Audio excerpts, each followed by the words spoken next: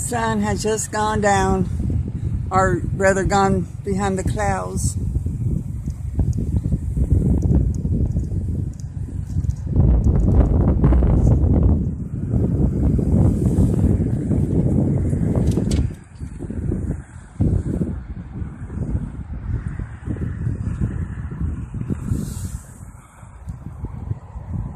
I hope you enjoy this.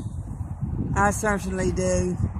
And I'm glad I'm able to share it with you all.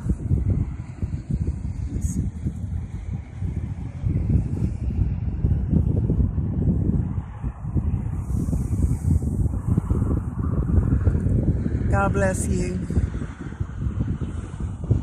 And today is my last day of radiation.